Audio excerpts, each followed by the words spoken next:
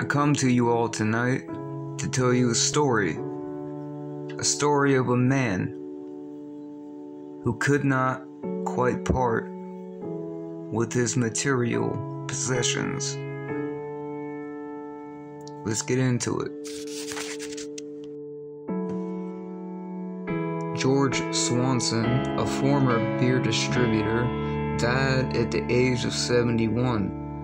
Normal for most, but George was different. He wanted his ashes in the seat of his 1984 Corvette, and it was coming with him. George bought 12 plots to make sure this was done to his liking. The county, unagreeable to George's wishes, did not want to, but eventually granted his wishes and buried him in his car.